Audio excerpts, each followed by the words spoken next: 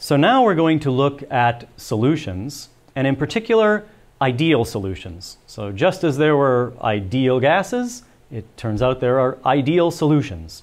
And we're going to uh, spend two lectures on this. So this is lecture one of ideal solutions.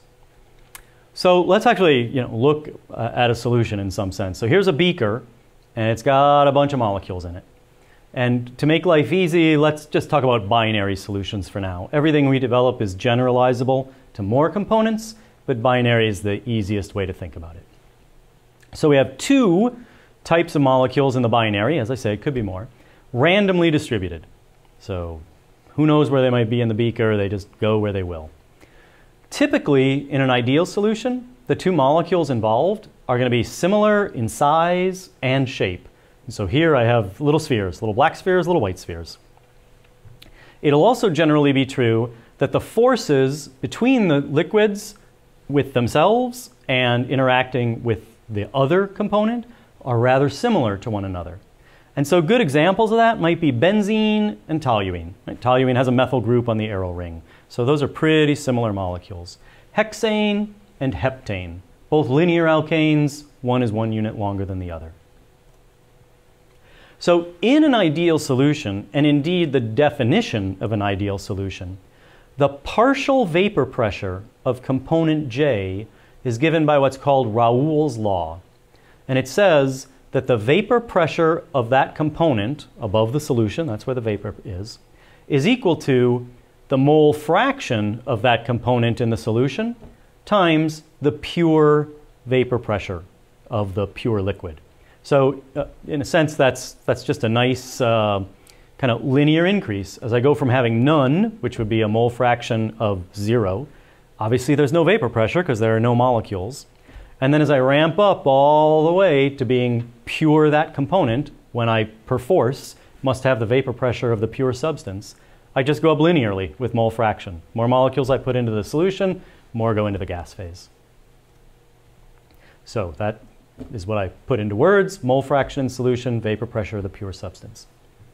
So we can ask then, what's the total vapor pressure above an ideal solution?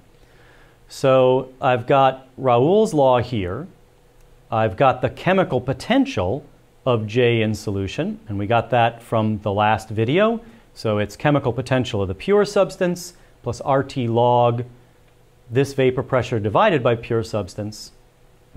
So when I put all those together, incidentally, I can now substitute for the partial pressure of the vapor the Raoult's law expression. So I will insert mole fraction pressure of pure liquid. When I do that, of course, I cancel the partial pressures of the two pure liquids, and I get this expression. Namely, the chemical potential in solution is that of the pure liquid plus RT log its mole fraction. That actually also serves as a thermodynamic definition of an ideal solution if it's true for all values of x sub j. So the total vapor pressure of the ideal solution, in a binary case, that's going to be mole fraction 1 times pure liquid vapor pressure of 1 plus mole fraction 2 times pure liquid vapor pressure of 2. By the definition of mole fraction, x1 is 1 minus x2, so I can get rid of one of those variables.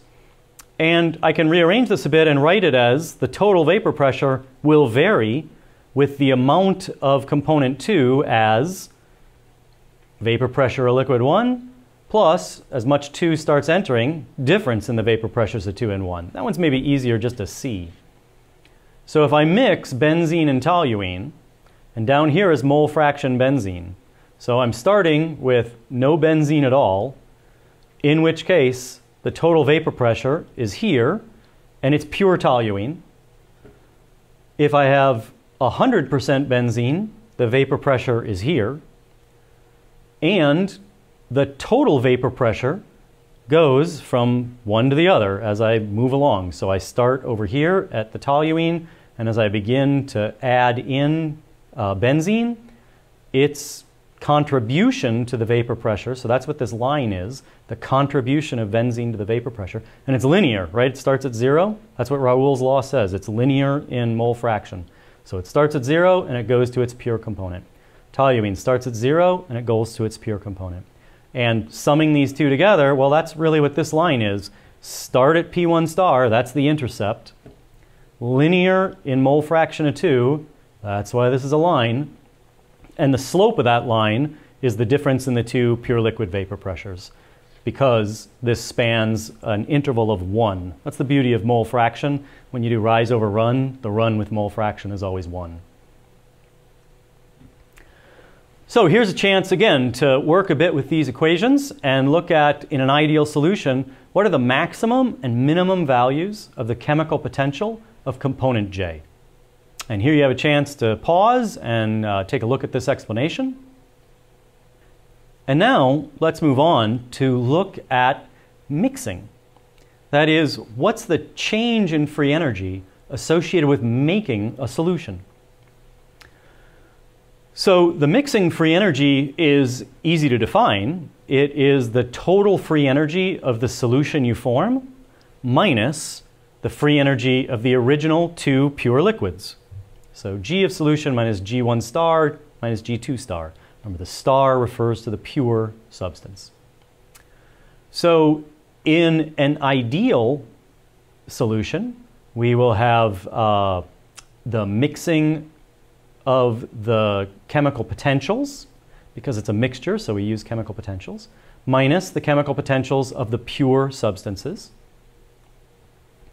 And if we exploit our expressions for the chemical potential of the solution, which is the pure substance plus RT log mole fraction, we see that when I, I plug this in up here, I'm going to get n1 times mu1 star, and it's going to cancel out this n1 times mu1 star. Similarly, when I use 2 for a subscript, I'm going to cancel out that term. All I'll be left with is these RT log mole fraction terms multiplied by their respective number of moles. Right? So the mixing free energy is RT, number of moles log mole fraction 1 plus number of moles log mole fraction 2. Remember that mole fraction is a number between 0 and 1. It's bounded by those two, those two uh, values. So the logarithm of a number less than 1 and greater than 0 is well defined and it's always negative. So this says that it is always favorable to mix an ideal solution. This is a negative number, this is a negative number, number of moles is a positive number, you can't have negative substance, and R and T are positive quantities. So it's always favorable to mix if you have something to mix. So let's uh, continue to work with that a bit, just bring that equation forward. I can now uh, inquire a bit more about the components of G that are being affected by that mixing. So if I ask, for instance, about the entropy of mixing for this ideal solution. Well, the entropy is the partial derivative of the free energy with respect to temperature negative. And that's an easy derivative to take. So I'll put in the negative sign and partial partial t with respect to t is 1. So I'm left with this expression. The mixing volume for an ideal solution is partial derivative of the free energy with respect to pressure. And when I look at this expression, pressure does not appear. So there is no change in volume to form an ideal solution. You may recall in the last video, we saw a case where there was a change in volume. Mixing propanol and water could give rise to a reduction in volume. So that's not an ideal solution. We, we know that right away. But let's stick with ideal solutions for a little while. We'll get to non-ideal soon enough. And then finally, uh, we can talk about the enthalpy of mixing of an ideal solution. And since enthalpy is G plus Ts. So then delta H is delta G plus T delta S. Well, here, here was my expression for uh, delta S. If I multiply that times temperature, I get the negative of that quantity. So evidently the, the enthalpy of mixing is also zero. And that goes back to what I said at the beginning of the lecture, that in an ideal solution, the interactions between the molecules really tend to be the same as they were between individual molecules of the pure substances. So there's not really a change in the interaction energies. What's driving this is entropy. You pour two things together, there's now more space for those two things to occupy, and that's better from an entropic standpoint. And indeed, we saw a formula that looked very like this for the mixing of two gases.